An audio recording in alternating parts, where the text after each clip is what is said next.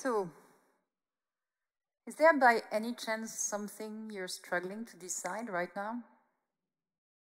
I don't know. Maybe what to eat tonight or which courses to choose. Maybe you have to decide whether to change jobs or end a relationship. Maybe something even more significant, whether to get married, have a child, or join a risky protest. Now, in all these cases, if they apply to you, good for you. And I'm not saying this out of compassion, of empathy, because I know that hesitation can be very uncomfortable, even distressing. No, I'm saying this because actually being undecided is quite an extraordinary power of your mind. And it's a power we neglect for our own misery. So what I really want to share with you today is why we should value our indecision and not always try to fight it. To do so, I wanted to start with a personal story and how it all started. And that actually started when I moved to Munich and I picked up running. Now, inevitably, my knee started to hurt. So much so that I had to go and see a doctor and she kindly said, well, you have two options. You can be operated or you can stop running. In either case, no guaranteed results. So I left her office and I was really in two minds. And I shared this dilemma with some friends on the chat. And this is the answers I immediately received from them. Just do it, said the first. Well, you know what? Any decision is better than no decision, said the second. Now, at this stage, I started to be a bit puzzled by the pattern. And I don't know about you, but I can certainly think about some times in my life when no decision would have been better than the decision I took. But the final strike really came with the third friend who said kindly, Remember Jeff Bezos' rule? Make a decision with only 70% of the information you wish to have. This really clicked with the philosopher in me. So I responded, You mean make no decision until I have 70% of the information I wish I have? This teasing exchange with my friends really left me thinking. Why is it that Jeff Bezos' version sounded so sexy and brave, and my version sounded so defensive and negative? And I started to realize actually more and more how we had become all decision fetishists. It's not just my friends with their encouraging advice. It's actually the titles that we see in the bookshops. How to be decisive. Decide now or die trying. It's also in the politicians' mouths when they come in front of us and say they already know how to fix everything. It's eventually in the journalists' mouths when they criticize, for instance, Angela Merkel for lacking leadership and not being decisive enough. But really, for me, it resonated because even more so in research, we've always focused on decisions. Economists study decisions, how we invest, how we save money.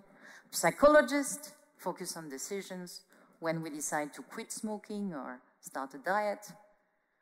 And we ourselves, cognitive scientists, we focus on decisions, though of a minor kind.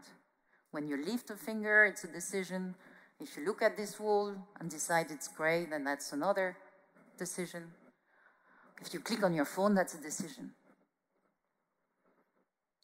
So couldn't we start looking at indecision also a bit more positively? I came back and I shared my doubts with the lab. And together, we ironically started to refer to ourselves as a new group, the indecision making lab. Now, that really made us see our experiments differently, and that's what I want to share with you now. In what you will see in the typical experiments that we conduct, we try and show how people gather information and finally select a given option. So for instance, you see some dots, and let's say, to go back to the operation case, that if the dots go on the left, it means that you find good information in favor of the knee operation. But if the dots go on the right, it means that you find a lot of reasons not to go for this operation. Now, let me give you the first example, right? Pretty clear. Dots go on the left. Good evidence, go for the operation. Take another case. This time, the dots go on the right. Maybe not such a good idea to go for the operation. That's how we usually study and model decisions. And there, indecision is just the temporary state you have to go through so that you can make a choice. The thing is, the world is not really like this. It's much more like this. Right? It's what we call noisy. You don't really get a clear signal. It's also possible that the word is ambiguous. That is, some people see more dots going left and some people see more dots going right. And even more so, the words, maybe more now, started to be like this. Goes in one direction and then changes and then changes again in a state we call volatility. Now, if the word is noisy, ambiguous, or volatile, ask yourself, is it a right idea to call it a right or a left? Or is it not now more appropriate to suspend your judgment? Now, indecision is no longer the thing you have to overcome. What you have to overcome is the urge to decide. And this urge to decide is actually what distinguishes us as humans quite straightforwardly from other species. If you think of dogs or pigeons, flies, zebrafish, this kind of animals we study, we know quite well that they are driven by what we call stimulus response. It's almost impossible or really difficult for them not to act on the basis of even minimal information. By contrast, we have this capacity to disengage and reflect and hesitate. Now, this is quite interesting because instead of picturing us humans as being special because we make smarter or more complex decisions than other animals, we start to realize that maybe what makes us smart is our capacity to be undecided. Now, where does this special capacity rest? Well, to show you some pictures of the brain, we can also see here on the left, illuminated in orange, the kind of activity that is taking place when you have to gather evidence to make a judgment. But what you see on the right, these other areas which are mostly located in what we call the prefrontal cortex, which is the top of the brain that rests under your forehead, then these areas are specially devoted to reflecting and telling you whether you should make a decision or not. Now, a lot of research is going on to understand better what's going on in these areas, but we already know quite a lot of fascinating things. For instance, we know that infants as young as 20 months old already have sufficient brain power to think it twice before doing something by themselves and turn to an adult because they don't think they can decide on their own. We also know that the same areas of the brain that are involved in processing indecision is probably, are probably dysfunctioning in patients with obsessive compulsive disorders or severe depression and explain why they can't decide that they have really, say, closed the door or can't decide to get out of bed. Now, clearly these are cases where indecision go wrong. But I think I've convinced you that also indecision can be justified and appropriate. So now the question is when, right?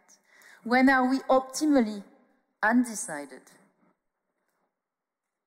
Well, there, the cognitive scientist has to defer back to the philosopher.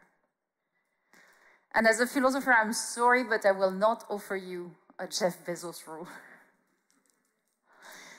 what I can do is just to tell you to maybe reconsider a few things.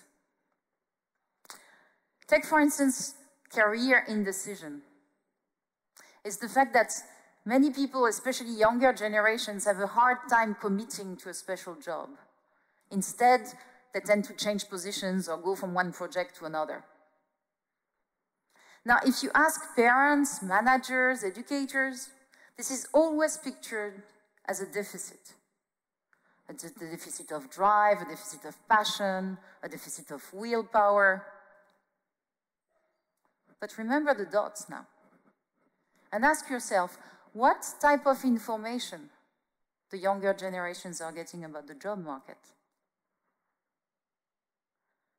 It can be very ambiguous with advice given in many different directions. It can be also very volatile with things changing sometimes very fast and then reversing again. And if that's the case, career indecision is no longer a deficit. It's actually a smart adaptation. A second thing I thought about talking about was indecision in romantic matters. But then I realized it's too controversial, so I switched to a different topic. uh, so let's talk about politics instead, much less controversial, right? uh, undecided voters. Also something which interestingly is on the rise. And maybe you know that undecided voters were really the one calling on the election in 2016 in the United States. Now this time, these undecided voters are represented as lacking strong political preferences. But put yourself in the shoes of an elector and wonder what they get from social media journalists or even politicians. And go back again to the dots. There's certainly a lot of noise in the information we get. There's a lot of ambiguity and sometimes volatility. Therefore, instead of thinking about undecided voter exclusively under the prism as lacking preferences, maybe they have preferences. They just don't have enough information to know who will defend them properly. So, where does it leave us as a final piece of advice? Well, hopefully, now you know, don't blame young people for their career indecision. Don't always blame the voters for not knowing who they will cast their ballot for. And most importantly, perhaps, be a bit kinder to yourself next time you find yourself hesitating. Because really, a world where we have more indecision and we accept it as smart and adaptive is maybe a word where we stop falling only for those who tried always to impress us with their decisiveness. So thank you.